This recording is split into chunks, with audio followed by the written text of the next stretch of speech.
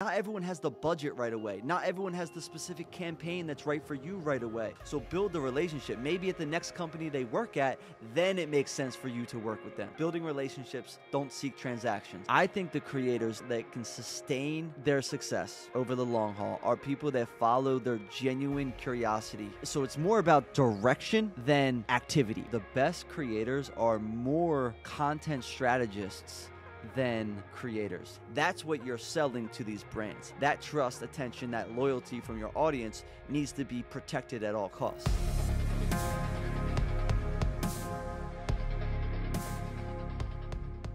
Welcome to High Level. My name is Axel, and today I have the privilege of interviewing my friend Tom Boyd. I'm doing great. Thanks for having me. Tom, if you guys don't know him, he's the creator of Bonus Footage. It's one of my favorite page on Instagram. He's always putting out crazy good advice for creatives. How do you think about content and whenever you're seeing other creators and you're finding this like patterns, how do you analyze that and, and package it? The thing that I measure my ideas around is would I tell this to a friend? Like, like, because I have a lot of friends that are creatives, that are entrepreneurs, that are trying to put ideas into the world.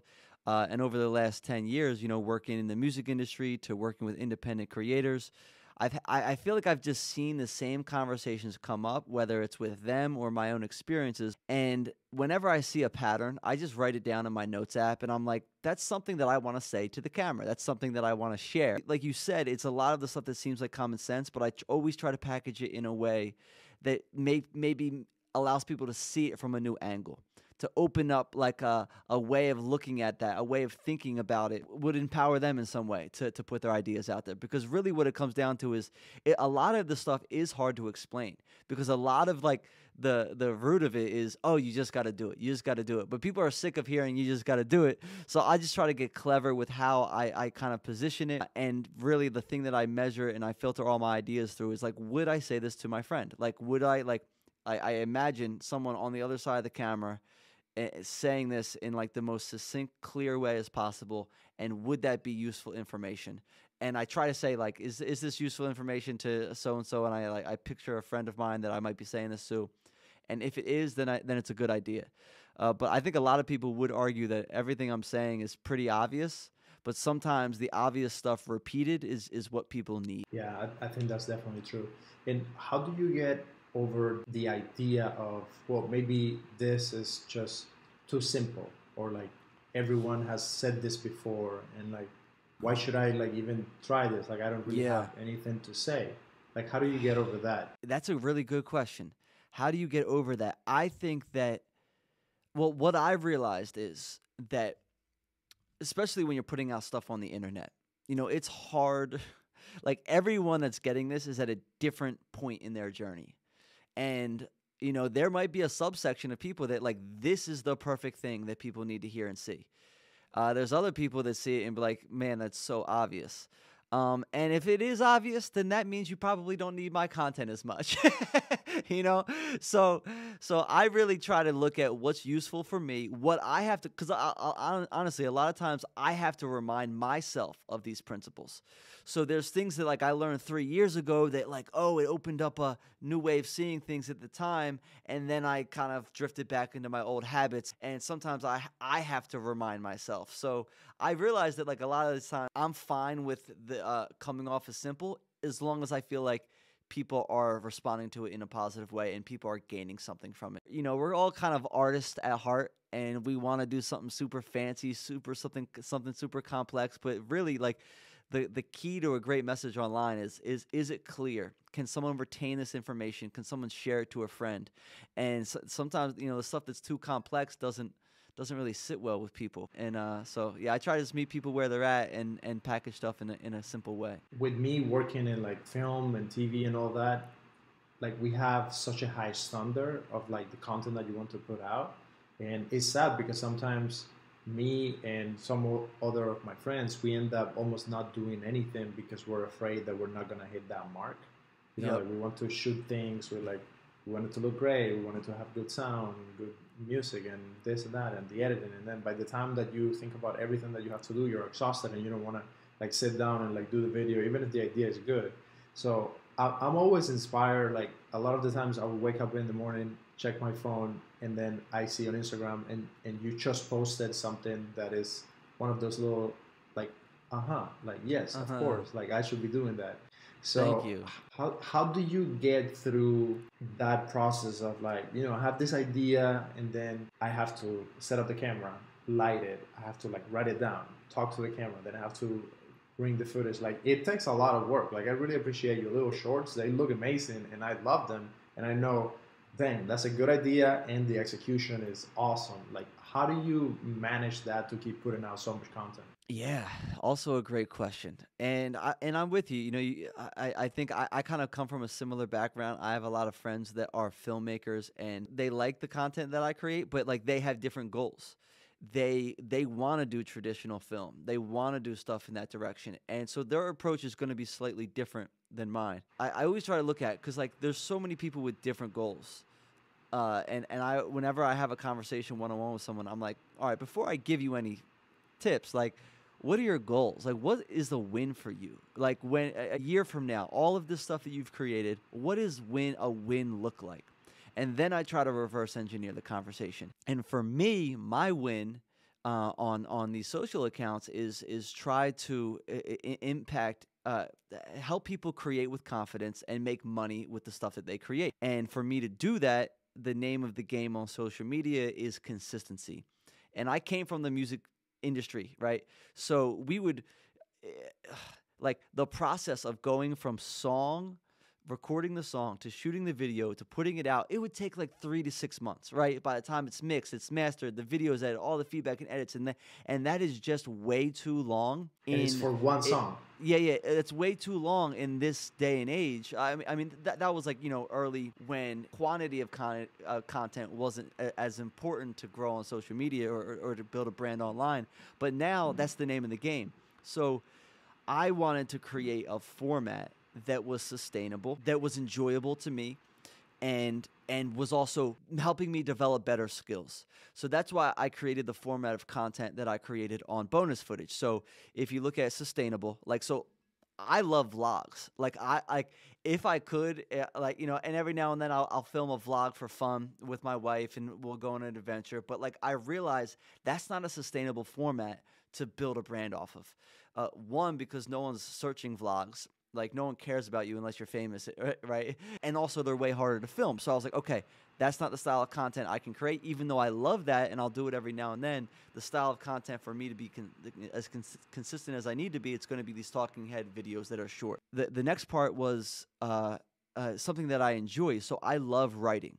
I love shaping words. I love the idea of how words like th- th- this is a fascinating idea to me that like you know words are just like symbols that we turn into meaning and then like we eh, you know everyone else kind of filters it through their own meaning and and and and gets an understanding of uh, and tries to figure out to the best of the ability what that person's saying right for me like when i'm packaging words together it's fascinating to me that like just the way I position these words. People don't look at like a paragraph that you write as creative, but there's people that like can package a short paragraph in a, a, specific way that goes viral, right? And they're really good at it. They can shape it in a way that connects it with people. And just because they move this word here, cut this fluff here, um, put the meaning, put the hook like this, like that, I love that. And that's where I decided to put my creativity in how I shape the message in my videos. It's less about the, sh- the, the the the flashy cuts and the flashy edits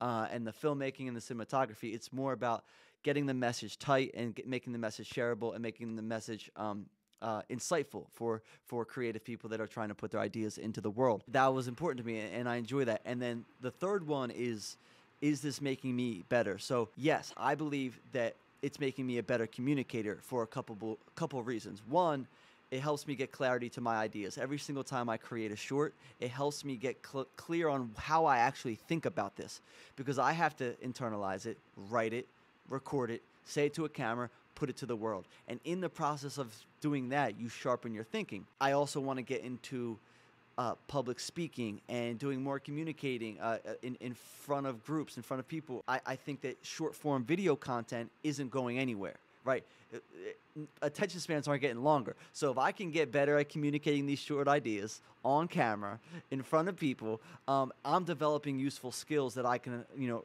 apply in so many different situations. So those are the three main reasons for me building bonus footage. So even if this account doesn't blow up, right? I'm still getting better at becoming a communicator, and that's that's like the the, the most important part for me. That's amazing, man.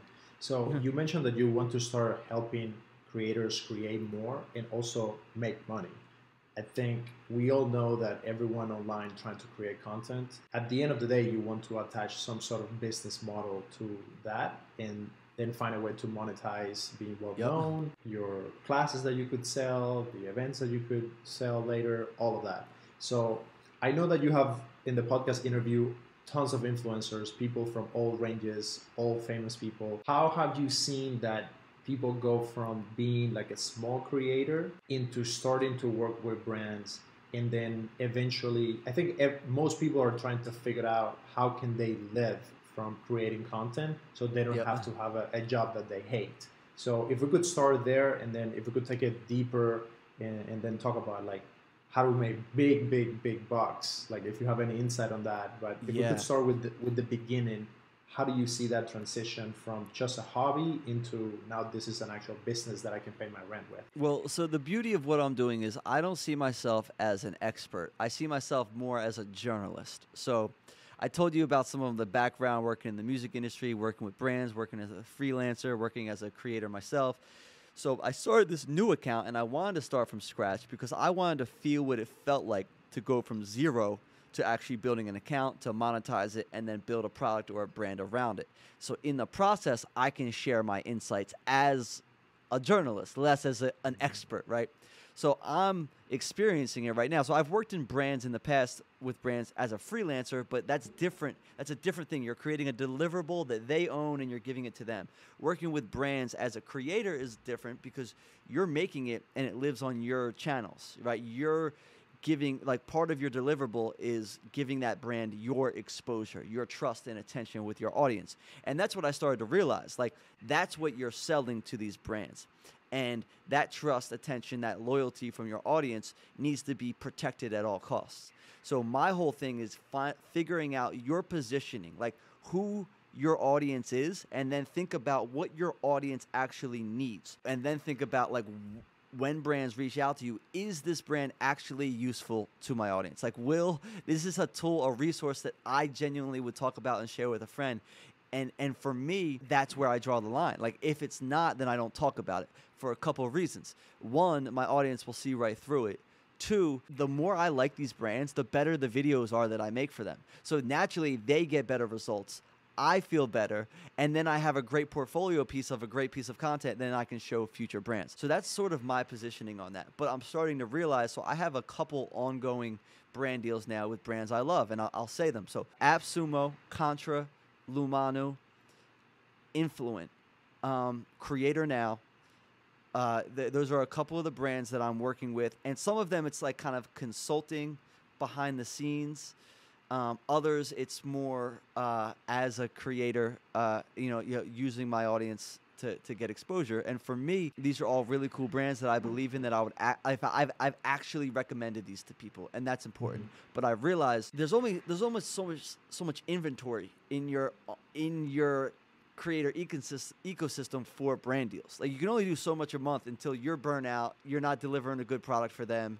Um, so for me, I'm starting to realize like, okay, I got to get back to building the audience, right? Like building a, a, a, bigger platform to then create my own product for. And I think that's where the next move is. I'm going to create a product and I'm playing around with it. I do a bunch of free workshops and stuff. And you can go to my um, and get some of my freebies there. And I do these little free workshops because I'm kind of figuring out what my product market fit is, like what I want to teach around. Because I want to teach around something that I I, I actually uh, have a, uh, a, a, specific knowledge around, but um, I I feel like is worth the investment. Yeah, and, I, I'm not sure about what that is yet. So I'm testing it right now with workshops, and I'm getting feedback from the audience on one what they want but two what i enjoy teaching around. So eventually i'm going to probably create a product. I want to do a, a course or, or something within the $200 to $300 range and i and i want to model my brand. I very much see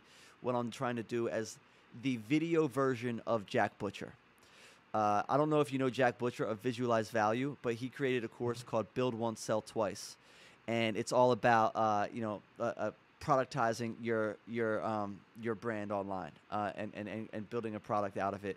And I, I just love that. I love his format. I love how he approaches it, and that's that's that's how I'm positioning it. And then eventually, it get equity in really cool companies and have some of these uh, go crazy, or build my own company, or build like my own startup uh, in some way. But I don't know if I want to go that route. I think I kind of like I like the idea of like a lifestyle creator where I don't have other bosses. I kind of like doing my own thing. So if, if you can tell, give me an example like with AppSumo. Like I, I know AppSumo is this big uh, software marketplace. Noah Kagan is the founder.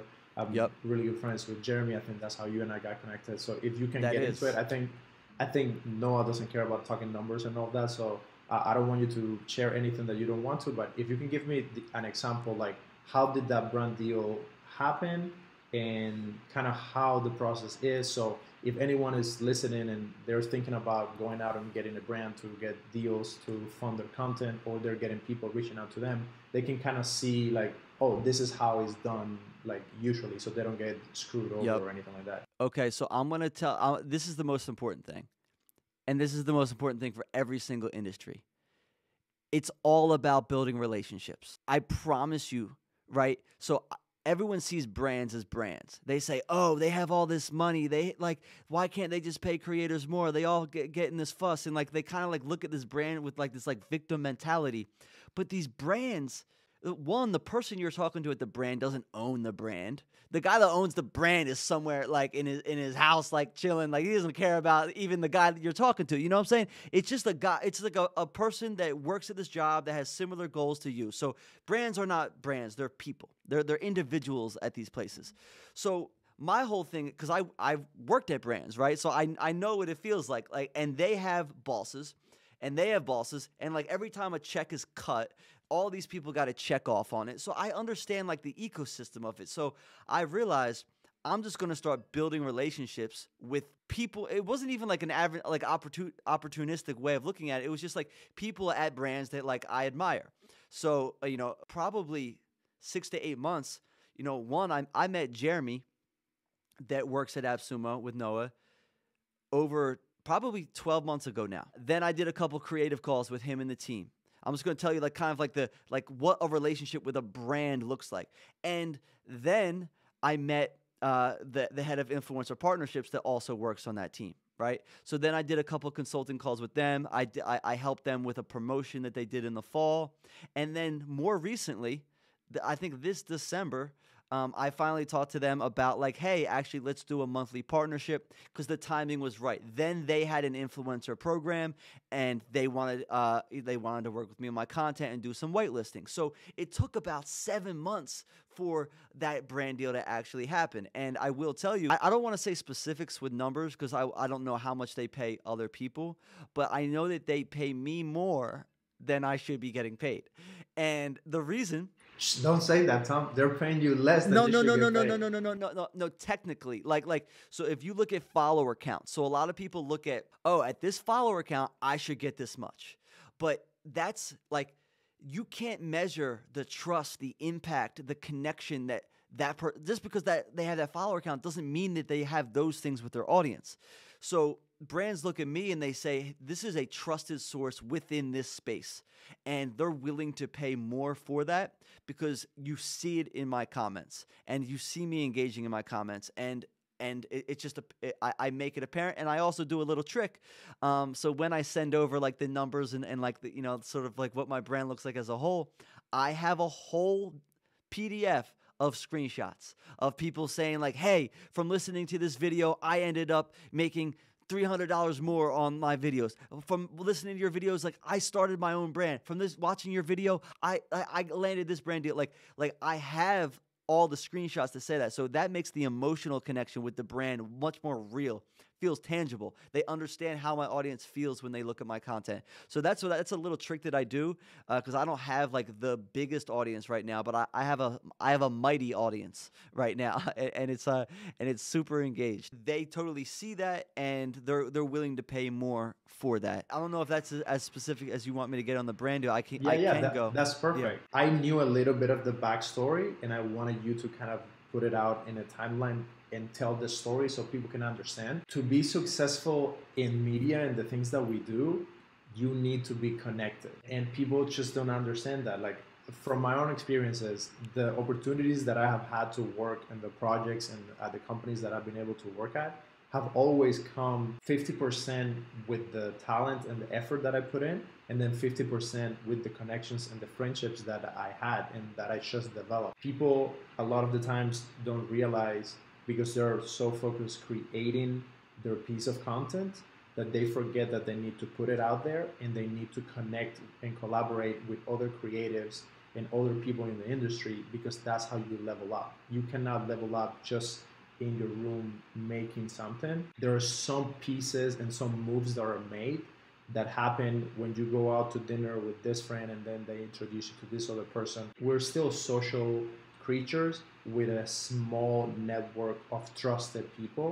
And until you get to a level where you're extremely famous and then you can reach out to anyone, e- even at that level, like I, I work at Impact Theory and I see whenever Tom wants to reach out to a, a, a, guest or like someone that we want to bring on the show and they're a big personality, it's not like we just say, oh, we are also have a famous person, famous person to famous person, and then it happens. No, a lot of the times it takes months for the team to go behind and try to find what avenue we can create that connection. So I, I really like that you told that story, and I want people to understand that the more connected you are, the better even the content is going to end up being because you're informed and you can place yourself in, in different situations. So I wanted to ask you the next question and, and touch a little bit on. Yeah, you want to say something? I, want to say one thing about that. So yeah. in that story, I want to make it clear that all of my brand deals, when I initially met them, like the brand deal did not happen overnight. I simply treated it as uh, some of them were through relationships, other were through DM, and I just say, hey, let's get on a call and talk about and talk about some of the goals of, of, of what you guys are trying to achieve, right? So the whole approach is you can figure out ways to get them outcomes now you don't have to wait like to your audiences a certain point. You can help them with strategic ideas. You can help them with connections. You can you know there's so many different ways to provide value. So i would just like to hey like it's a especially in the creator economy like uh, people are so supportive. So i would just send a hey dm like hey would love to get on the phone chat about how uh, you know uh, uh, ways that we could collab or uh, you know we could help i could help you reach some of your goals and just make it about them and most of them i'm telling you like three months later it didn't like the brand deal went like started to work out. Like and this is like i'll tell you the, the example right? Because i learned this as being a freelancer. Not everyone has the budget right away. Not everyone has the specific campaign that's right for you right away. Not, not like it just doesn't line up. It's not that you should take it personal or it means anything on you or your brand. It just doesn't make sense right now. But then eventually you know I, like i remember like someone from a brand i'm working with now um, someone at the team saw one of my tiktok and like i guess sent it to the slack group. And then like the person that was on the team was like hey like I actually know that guy. I've talked to him before. And like they were like, great, we should work with him. And then it like that's when it made sense. I think a lot of people look at this as like a quick one-off transaction. These are relationships you're building. And the other beauty is a lot of these people, these companies, you don't know where they're going to go next. They're all moving up in these cool companies. So build the relationship. Maybe at the next company they work at, then it makes sense for you to work with them. So that, that's my little quick uh, insight around like building relationships. Don't don't seek transactions. Yeah, that is so powerful. And my next question, Tom, I wanted you to touch a little bit on things that you have learned from all of these big influencers that you have on the podcast, the things that they have learned throughout the process, and maybe some commonalities that you're seeing in these people who are successful at creating media and grabbing attention. What do you see there that is like that's is there like a special thing that they have or that they learn? What do you think? All right, so the thing that I I usually go to and I I believe that this is true is the genuine curiosity that the best creators have. You can follow all the quick tips, the hacks, what the marketing gurus are saying, all you want, right? But you're still going to run out of steam. I think the creators that have sustain that can sustain their success over the long haul are people that follow their genuine curiosity. And it's so it's more about direction than activity, right? So they've like they've built their brand around something that they're genuinely curious about. Like Colin and Samir, they are genuinely curious about the creator economy and what's happening in this space. Like they they're like the sideline reporters for the creator economy and you can tell that they enjoy it and they love it. It, it is, and that is what keeps their engine running, right? If they were just like you see a lot of people hopping on the creator economy train, but they re, can they don't really care about it. You see, you actually can see that they care. Someone like Casey Neistat. He was thriving in New York City. And I know that like he kind of like put the, the vlog on hold, but he's admitted that when he went to LA, he just wasn't inspired by the by LA as much as he was New York City. And I believe that he had genuine curiosity around New York City and what was going to unfold in each vlog, in each video, in each story with each character. Like that is what continued to drive him in each of those videos. So I mean, even Tom Bilyeu, right? Like you can tell he's trying to master excellence in, in, these interviews, right? He wants to extract this information so he can selfishly uh, apply it to his him like his mission, right? And we all learn vicariously through him. And that's where the curiosity thing comes through. If you're genuinely curious about this direction that you're going, that you're exploring, look at it as more of an explorer, less of a, a, com- a competitor. If you're looking at it as like I'm an adventurer here, you're willing to stumble. You're willing because you're like, hey, I'm just figuring this out. I'm just going this path, and I want to see what gets revealed. But you're not judging yourself by the lack of results or or or uh, a return on metrics that the world is telling you that you should have at that point. Yeah, that's that's so important. And I think if you match that authenticity with the consistency that you mentioned earlier, eventually it's going to give you the results. Exactly, and that's how you stay consistent, following you know things that you're genuinely curious about. Like I've even realized on my podcast, for me, it's like I'd rather interview someone with ten followers that I had genuine curiosity around than someone with a million that like just got a million for like a random reason that you know wasn't really exciting to me right? And so that's what i realized like i have to align my conversations around that. It makes me a better better interviewer when i actually care about what the person's doing. Yeah of course. And that's the reason why i wanted to have you on the podcast because um, i selflessly want to ask you these things because i want to know. What advice would you give me? Like I think yeah. we, we, could get into there. Like my goal is to make like the biggest blockbuster films ever and entertain and inspire millions of people.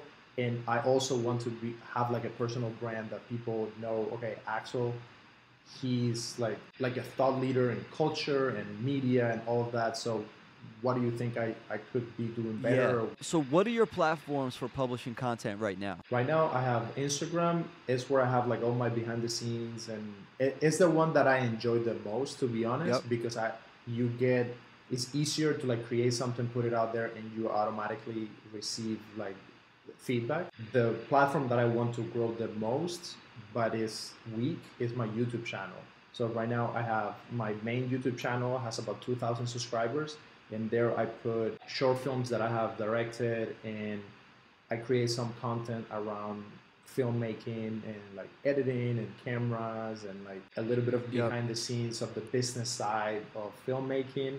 So that channel I would love to grow it and just make it like my big piece where I'm creating all my content. Yeah. And then I just started doing the podcast as a separate channel because I know the algorithm I was putting the podcast in my main channel, but because of the length the algorithm like doesn't work well with that. So I created a separate channel that is just going to be the podcast with these interviews.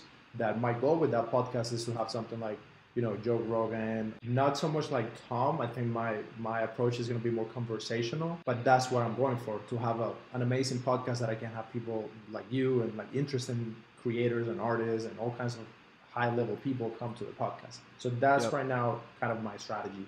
And then I play with Twitter just because of the NFT space and that one is just for fun. Like if it grows, is great, but I'm not I'm not sweating it or like putting a lot of attention. I just go there to like interact with people in the NFT space. I don't. I can't remember the exact quote, but I totally agree with it. And I, th- I like this is something I already like. I, I understood idea that the, the best creators are more content strategists than creators. Content strategy is just it's just how they think about their brand, how they think about how the content all works together. Like, of course, you have some people that are just artists. They throw it out there. They really don't care what sticks, right?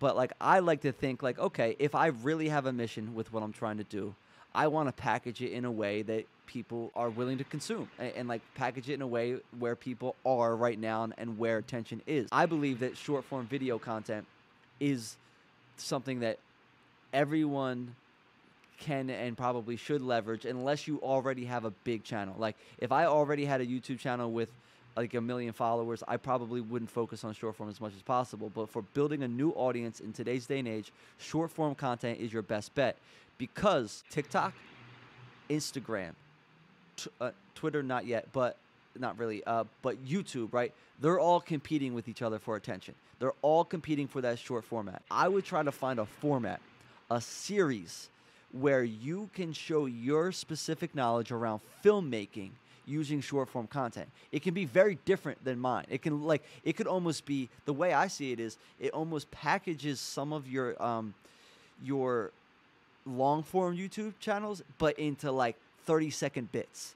Right, so maybe it's just like a beautiful shot of B-roll, and you're doing voiceover explaining how you got it, or just like a li- like some like behind the scenes stuff that is also super polished in your in like your style of filmmaking.